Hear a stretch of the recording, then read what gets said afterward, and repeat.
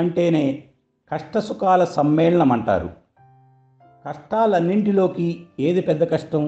ఏది కష్టమంటే సూత్రీకరించి ఇది ఎక్కువ కష్టమైనది అని చెప్పటం చాలా కష్టం.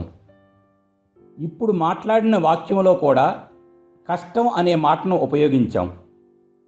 ఆ రెండింటిలో ఏ సినిమా బాగుందని చెప్పమంటే నిర్ణయం చెప్పవలసి వచ్చినప్పుడు తేల్చి చెప్పడం కష్టం అంటున్నాం. మనసును క్షోభ పెట్టి కంటనీరు పెట్టించే దానిని కష్టం అంటున్నాం. కష్టం అనే మాట కామన్గా ఉన్నప్పటికీ మొదటి రెండు కష్టాలు కష్టపెట్టలేవు. భావానికి తగిన భాష లేక నానా చెత్త విషయాలకు కూడా మనం కష్టం అనే పదాన్ని వాడుతున్నాం. మనకు తెలుగులో జంట పదాలున్నాయి.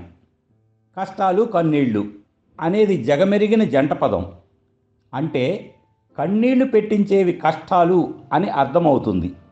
అంతేగాని సినిమా టిక్కెట్ దొరక్కపోవటం పని మీద బ్యాంకుకు వెళితే బ్యాంకు సెలవని తెలియటం మనం ఎక్కిన బస్సులో ఏసీ పనిచేయకపోవటం ఇలాంటి సవాలక్ష కష్టాలు అసలు కష్టాలు కావనే చెప్పాలి. కన్నీళ్ళు పెట్టించేవి కష్టాలన్నారు కదా వీటికి కూడా కన్నీళ్ళు పెట్టుకునే వారి సంగతి ఏమిటి అని మీరు అడుగుతారు. మన సమాజంలో అభాగ్యుల జాతి అని ఒకటి ఉంది.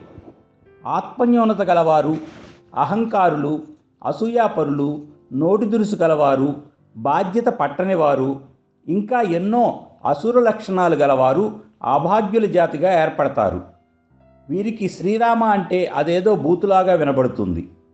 అయిన దానికి కానిదానికి నోరేసుకుని వాగుతూ విలవిల ఏడుస్తుంటారు. తప్పు చేసి కూడా తమను తాము సమర్థించుకోవటానికి ఏడుపును ఆలంబనగా తీసుకుంటారు. ఇలాంటి ఏడుపు కొట్టు కష్టాలు ఏమాత్రం కష్టాలు కావు. కష్టాలు కాని కష్టాలు అనేకం. కొంతమంది ఆడవాళ్ళకైతే మొగుడు కొట్టినందుకు కాదు తోడికోడలు నవ్వినందుకు బాగా కష్టంగా ఉంటుంది. కూతురు వైభోగం చూసి ఈర్ష్యపడే తల్లులు అల్లుడు సొమ్ముకు ఆశపడే మామలు కొడుకు సొమ్ము స్వాహా చేసే తండ్రులు పెళ్ళి కాని కూతురు సంపాదన తింటున్న తల్లిదండ్రులు వీరికి భిన్నంగా జరిగితే కొంపలంటుకున్నట్లు బాధపడతారు. అంత మాత్రాన వీరందరివి కష్టాలు అనలేము కదా. ఇక భౌతిక కష్టాలు తీసుకుంటే ఆకలి అన్నిటికన్నా అసలు సిస్సలైన కష్టం. ఆ తర్వాత నిద్ర మైథునం ప్రధానమైనవి మానసికమైన కష్టాలను పరిశీలిస్తే ఏ కష్టానికి ఆ కష్టం మరింత కష్టంగా ఉంటుంది. మరలా ఈ కష్టాలు కూడా దృక్పథాన్ని బట్టి వ్యక్తికి వ్యక్తికి తేడాలుంటాయి.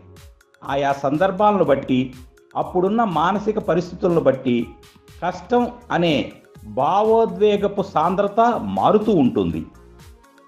తనువుకెన్ని గాయాలైనా మాసిపోవు నేలాగైనా మనసుకొక్క గాయమైనా మాసిపోదు చితిలోనైనా అనే సినీ గీతం ఈ సందర్భంగా గుర్తు చేసుకోవాలి. తల్లి కొడుకులు అత్తా కోడళ్ళు భార్యా తల్లిదండ్రులు తల్లిదండ్రులు అత్తమామలు యజమాని ఉద్యోగులు అక్కా చెల్లెళ్ళు బావా బావమరిది భార్యాభర్తలు అన్నదమ్ములు తోడికోడళ్ళు వియ్యాలవారు ఈ రకమైన బాంధవ్యాలలో ఎంతో కొంత భావోద్వేగపు రగడ ఉంటుంది.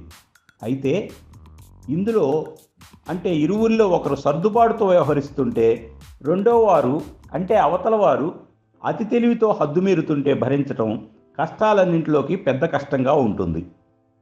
వియ్యానికైనా కయ్యానికైనా నెయ్యానికైనా సమవుజ్జి ఉండాలనేది ఆర్యోక్తి. కొన్నిసార్లు సమవుజ్జి కోసం చూడకుండా వియ్యం అందుకుంటే కొన్ని కష్టాలు తప్పనిసరిగా ఉంటాయి. ఈ జన్మలో చేసిన తప్పుకు ఈ జన్మలోనే శిక్ష అన్నట్లు కన్నీళ్ళు కూడా కష్టాలను అంటిపెట్టుకునే ఉంటాయి. మిత్రుడని అప్పుకు హామీ ఉంటే వాడు కావాలని ఎగ్గొడితే అది కూడా కష్టంగానే ఉంటుంది. మనకంటే చిన్నవారితో కలహమాడితే అది ఒక నరకం. వారిని పరుషంగా ఒక మాట అంటే చూసే జనం పిల్లలతో మీకేంటి వైరం అంటారని భయం. వాళ్ళు అన్యాయంగా ప్రవర్తిస్తున్నా ఏమీ చేయలేని నిస్సహాయత కూడా చాలా కష్టంగా ఉంటుంది. దున్నపోతుకు వడగళ్ళ వాన బాధించదు కానీ సూక్ష్మ శరీరమైన మనసుకు అన్నీ బాధగానే ఉంటాయి. ఎవరికి వారు తమదే అసలైన కష్టమని ముక్కు చీదుకుంటూ ఆక్రోశిస్తుంటారు. నా కష్టం నీకు వస్తే తెలుస్తుందని ఓదార్చబోయిన వారిని ఆశీర్వదిస్తారు. ఈ కష్టాల సాంద్రత కూడా మానసిక పరిణితిని బట్టి మారుతూ ఉంటుంది. కానీ ఎవరిదైనా కష్టం కష్టమేగా? ఎదుటి వ్యక్తి కష్టం గురించి తెలియాలంటే వారి కోణం నుండి ఆలోచించటమే సమంజసం.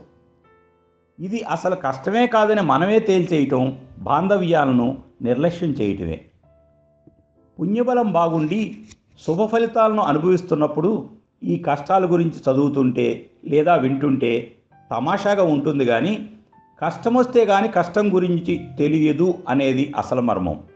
అందుకే ఏది ఎక్కువ కష్టం కలిగిస్తుంది అనేది తేల్చి చెప్పడం కష్టంగా ఉంటుంది. కానీ సూక్ష్మంగా చెప్పాలంటే భౌతిక కష్టాలలో ఆకలి పెద్ద కష్టం. మానసిక కష్టాలలో ఆత్మీయుల మరణం అతి పెద్ద కష్టంగా నేను భావిస్తున్నాను. ఎందుకంటే ఎంత ఏడ్చినా పోయినోళ్ళు తిరిగి రారు